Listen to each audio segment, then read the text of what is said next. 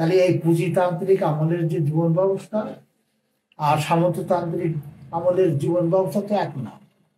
দশ হাজার বছর আগে কি ছিল বাংলাদেশ? বাংলা একাডেমি সাহিত্য পুরস্কার প্রাপ্ত বরেণ্য প্রাবন্ধিক, ঔপন্যাসিক ও গবেষক, বীর মুক্তিযোদ্ধা হোসেন উদ্দিন হোসেন মারা গেছেন।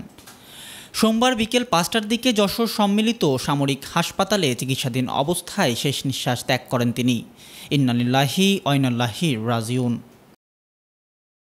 মৃত্যুকালে তিনি স্ত্রী, দুই ছেলে, দুই মেয়ে সহ অসংখ্য শোভানোধ্যায়ী রেখে গেছেন। বরেণ্য এই সাহিত্যিক হোসেন উদ্দিন হোসেনকে দুই সালে তিন মে যশোর শিল্পকলা একাডেমিতে দৈনিক কল্যাণের আটত্রিশতম প্রতিষ্ঠাবার্ষিকীতে সম্মাননা প্রদান করা হয়। তিনি আশির দশকে দৈনিক কল্যাণের সাহিত্য সম্পাদক হিসেবে দীর্ঘদিন দায়িত্ব পালন করেন। তার মৃত্যুতে দৈনিক কল্যাণ পরিবার শোকাহত। হোসেন উদ্দিন হোসেনের বিধেয়ী আত্মার শান্তি কামনা করে বিবৃতি দিয়েছেন দৈনিক কল্যাণের সম্পাদক বীর মুক্তিযোদ্ধা একরামুদ্দৌলা, ভারপ্রাপ্ত সম্পাদক এহসানুদ্দৌলা, ব্যবস্থাপনা সম্পাদক এজাজউদ্দিন টিপু। হোসেন উদ্দিন হোসেন দুই হাজার একুশ সালে বাংলা একাডেমিতে সাহিত্য পুরস্কার পান। প্রবন্ধ ও গবেষণায় বিশেষ অবদানের জন্য বাংলা একাডেমি তাকে এ পুরস্কারে নির্বাচিত করে।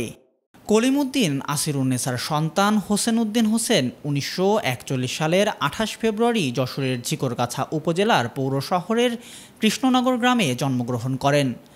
উপজেলা পরিষদ সংলগ্ন সাহিত্য ভবন নামে একটি বাড়িতে সহধর্মিনী হাসিন আক্তারকে নিয়ে বসবাস করতেন। তার চার সন্তানের মধ্যে দুই ছেলে ও দুই মেয়ে শৈশবকাল থেকেই তিনি সাহিত্য চর্চা শুরু করেন।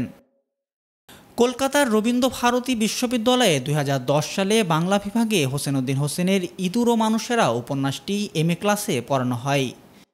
মাইন্স অ্যান্ড ম্যান এই বইটি ভারতের কলকাতার রবীন্দ্র ভারতী বিশ্ববিদ্যালয়ে মাস্টার্সে পড়ানো হয়। বইটি বাংলা থেকে ইংরেজি অনুবাদ করা।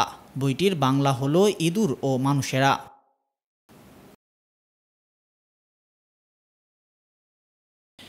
ইঁদুর ও মানুষেরা এবং প্লাবন ও একজন নুহু বই দুটি ইংরেজিতে অনুবাদ করা হয়েছে। প্লাবন ও একজন নুহু ইংরেজিতে অনুবাদের কারণে দুই হাজার পাঁচ সালে ইংল্যান্ডের ক্যামব্রিজ বিশ্ববিদ্যালয়ে হোসেন উদ্দিন হোসেনকে টপ হান্ড্রেড রাইটার্স বা সেরা একশো জন লেখকের তালিকায় ভূষিত করে।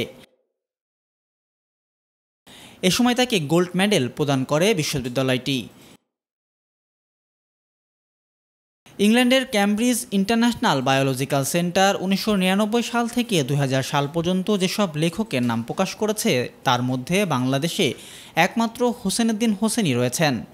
এছাড়া দেশি বিদেশি আরও অন্তত পঞ্চাশটি পুরস্কার ও সম্মাননা পেয়েছেন এই বরেণ্য সাহিত্যিক। ডেস্ক রিপোর্ট, দৈনিক কল্যাণ।